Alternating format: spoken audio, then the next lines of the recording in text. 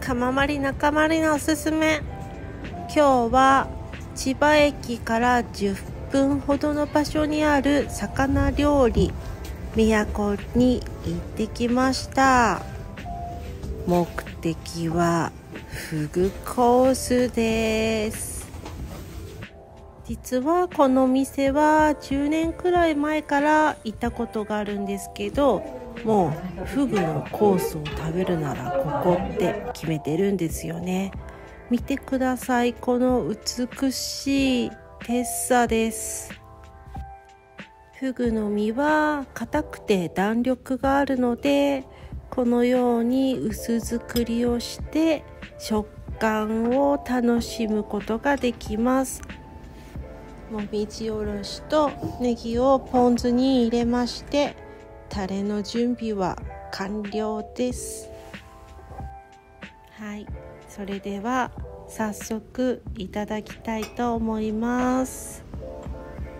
本当美しいこの薄く透き通ったテッサ。いただきます。歯ごたえが素晴らしいですね。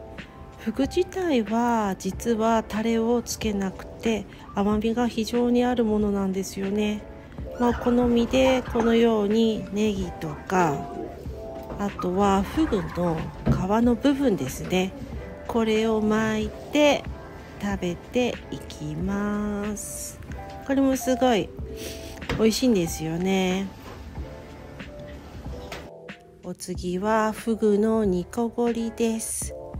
フグの煮こごりはフグの皮から溶け出した天然のゼラチンを煮詰めて固めたものでだしとかフグのこの歯ごたえが非常に絶品でした。ペアリングのドリンクはもちろんヒレ酒です。フグのヒレを炙り焼いて熱燗に入れたものです。とても香ばしくてどっしりとした熱燗がいただけますよ。はい。焼きフグです。お好みですだちを絞っていただきます。もう魚というよりはもう肉ですよね。うん。食べ応えバッチリです。もうお酒も進みますので次酒ですよ。先ほどの残りのところに入れていただきます。はい。白子焼きが来ましたよ。清掃ですね。珍味でプリプリとした食感とクリーミーな味わいが特徴です。なかなか食べれないですよね。美味しかったな。はい。次はフグの唐揚げです。これこそ魚を食べてるのか鶏肉を食べてるのかわかんなくなる歯ごたえでした。プリプリで美味しかったです。じゃーん。フグのしゃぶしゃぶですよこれ。そして白子。ぷりのフグにお野菜。こちら。フグチリの準備です。たっぷりのフグ骨付きの部分を最初に鍋の中に入れていきます。はい。白子さん入ります。白子さんすくいます見てプリプリしてるの。かわいい。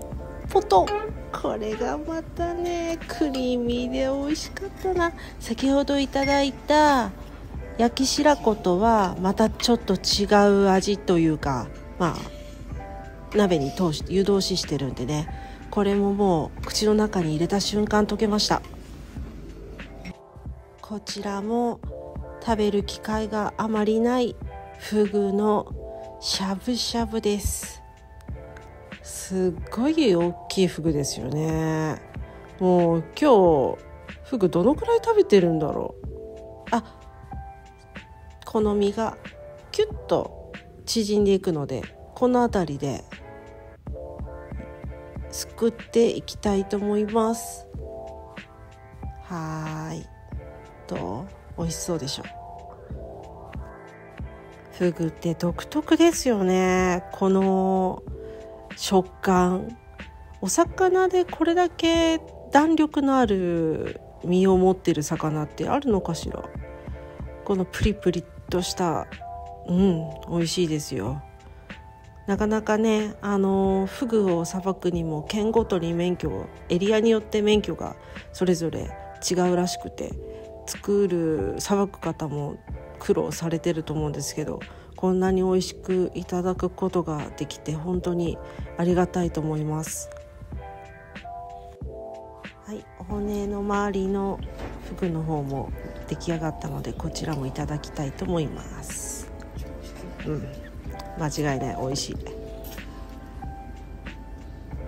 そして締めは雑炊です。このね雑炊この雑炊を食べるために今までの前菜があったと言っても過言ではないくらい味が全部ここに集約されてるんです。本当にこれを食べるためには今までの料理を全部食べていって積み重ねていくことが必要なんですよね。これは絶品なんですよ。フグ尽くしコース。今日も美味しくいただきました。